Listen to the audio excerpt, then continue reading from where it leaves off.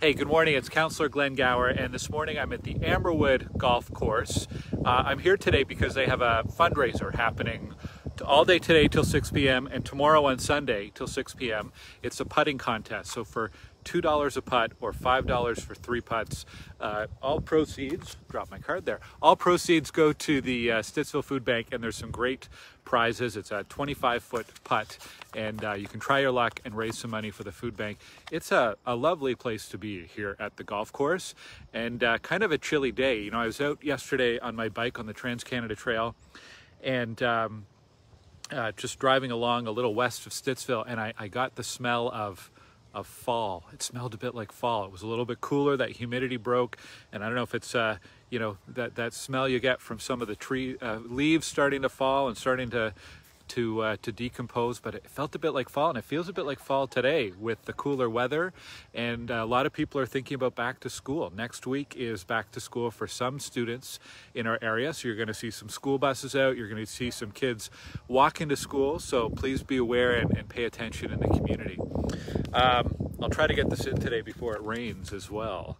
Uh, talking about schools. Um, Ottawa Public Health uh, provided an update this week on, on, a number of things, among them uh, some of the continuing efforts to ensure that schools remain safe for students and uh, doing everything we can to reduce the spread of COVID-19 in our community.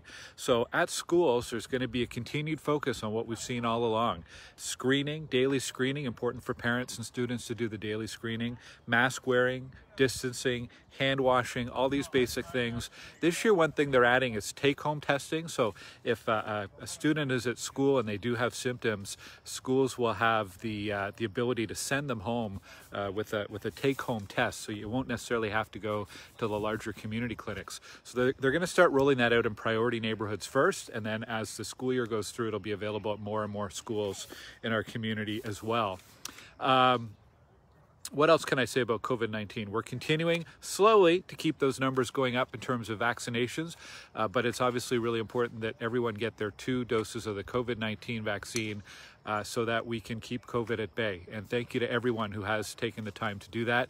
If you have questions about the vaccine, if you're not sure about where to go for a vaccination, if you have uh, looking for someone to talk to, a nurse or a, uh, a doctor, go to ottawapublichealth.ca. There are lots of great resources there and lots of uh, lots of information and lots of people that you can contact as well if you have questions.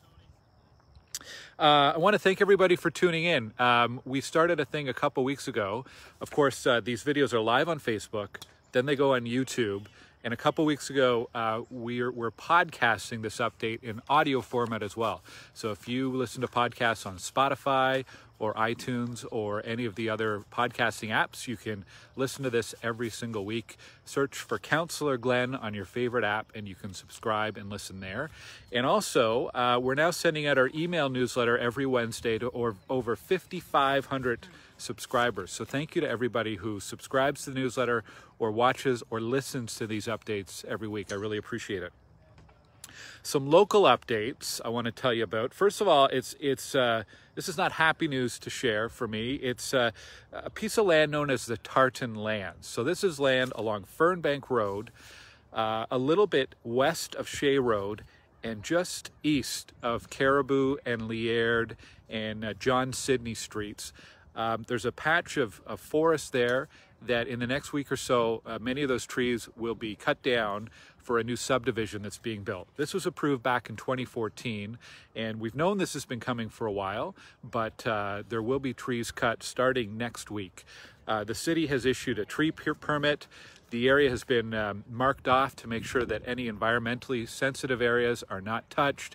And there's also a, I believe it's about an 11 meter buffer of trees on the west side of the site that is being preserved and there'll be a walking path through there in the future development. And I have also asked the uh, asked the forestry department asked the developer to keep the future park block as a tree block. We'd like to eventually build a, a woodland park there similar to Joe Lewis Park in Potters Key and Putney Park in um, in uh, Westwood. So that's coming up this week. There is more information on my website and on Facebook. Coming up in a couple weeks um, there has been, uh, over many, many years, waste management has been seeking approvals from the province and from the City of Ottawa for the Carp Road landfill. And I just want to give you a heads up about this. On Tuesday, FEDCO, which is our uh, Finance and Economic Development Committee at the city, will be reviewing a contract that's called a host municipality agreement or host community agreement between the city and waste management that will set out a lot of the terms for community compensation uh, for, from waste management to the city of Ottawa for any waste that arrives at that landfill.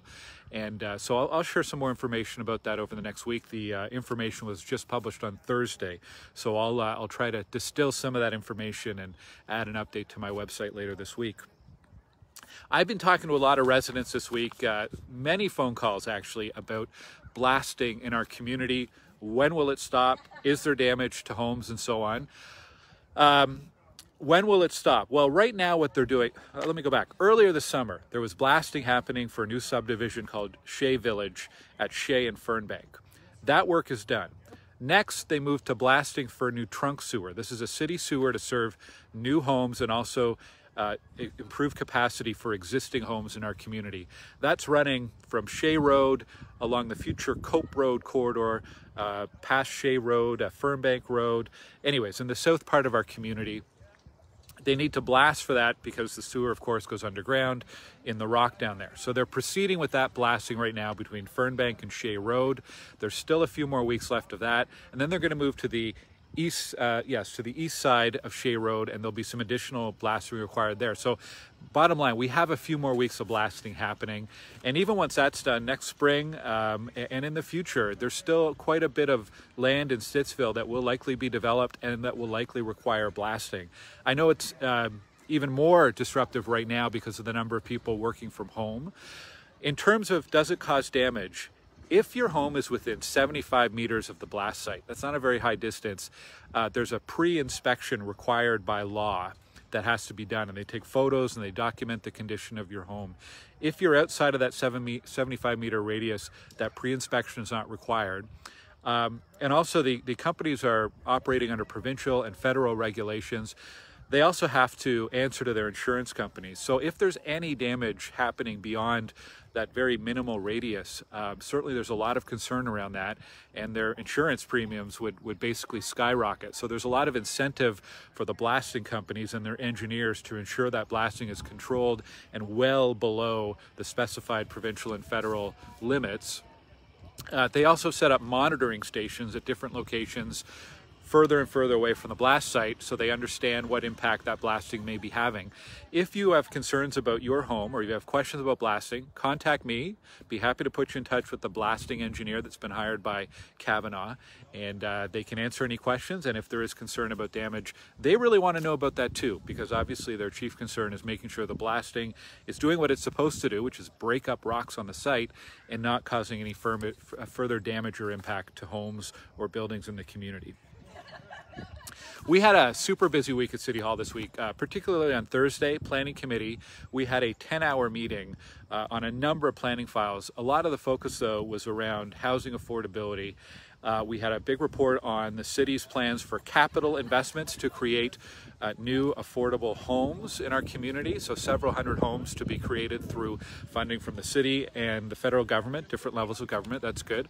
We also tackled a very difficult file, the uh, Herongate Hazelview file. Several years ago, uh, there were some pretty brutal evictions of tenants there and as a result of that, we've entered into a, a contract, the first of its time, a, mem- a, first of its kind in Ottawa, a memorandum of understanding with a private developer that will do a number of things, including uh, ensuring that any future tenants that may be evicted have a place to go on the site in the same area, uh, so they won't be losing their homes without any kind of recourse, and also putting some pretty significant uh, rent protections in uh, and some maximum rent limits uh, to ensure uh, that they're, they're affordable housing and uh, that, that uh, we're creating more affordable housing units. We've got a, a huge problem in Canada and especially in Ottawa um, around affordable housing, around housing supply, whether it's affordable housing for people who are in the, the lowest income brackets who are really struggling to be able to afford a place to live, Or perhaps uh, you've seen it through young adults who are trying to uh, find some place to rent or get into the housing market. Or perhaps older adults are, are looking at how they afford a place to live should they decide to downsize.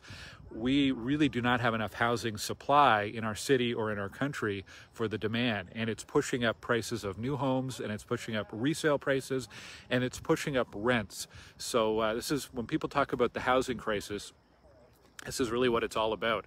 And uh, have a, a, number of files, a number of conversations, and a number of initiatives underway at the city to try to tackle this where we can from the city level. Obviously, we need some additional help and investment from the other levels of government as well. I'll talk more about this in the coming weeks because it's pretty important, and I think it's going to be one of the chief uh, focus of, of the city over the next few years.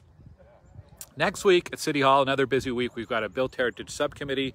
I'm a member of, of, that. We've got an Agriculture and Rural Affairs Committee. I'm a member of that. We have a Board of Health Strategic Planning session. I'm a member of that. There's also a Transportation Committee meeting, which I'm not a member of, but I'll probably tune into because there's usually issues of interest.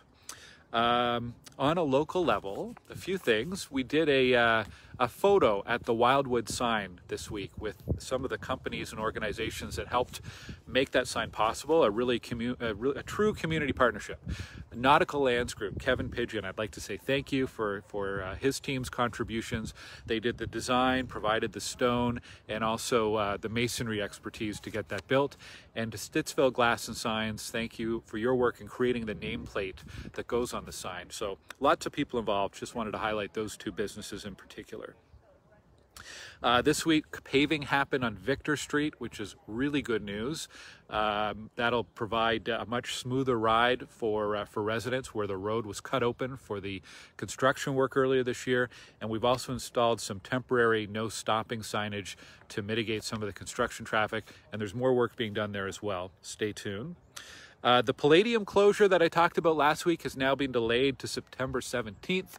The construction company is waiting on some approvals from the MTO, the Ministry of Transportation in Ontario. So that's September 17th. And uh, we received a new site plan control application, a development application for a new Catholic school on Defence Street. This is in the Fernbank area, just east of Robert Grant near Cope Street. Uh, also got an update. If you live on Friendly Crescent, I bet you've been wondering when is that empty lot on the south side of Friendly Crescent finally going to be finished? We have some dates for you. The pathway is going to be paved by September 15th, and the landscaping will be done by about October 15th, finally. And uh, then the city will be responsible for keeping that in good shape going forward. Some reminders going into next week. Uh, we have a meeting about the Brightside pedestrian pathway updates, uh, upgrades rather. It's on Monday at 6 p.m., I believe. There's information on my website. So if you live on Brightside, Hope, Hopetown, Baywood, that area, you may be interested in participating to see what that's all about. Uh, we have some trail maintenance that started last week along the Trans Canada Trail.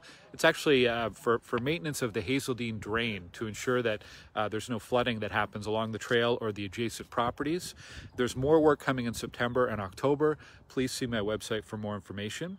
And I want to remind you as well that tomorrow the market continues at the barn next to Village Square Park, right on Abbott Street, just uh, east of Stittsville Main Street. And there's also a fundraiser organized by the Knights of Columbus happening at the park. So lots going on in the community.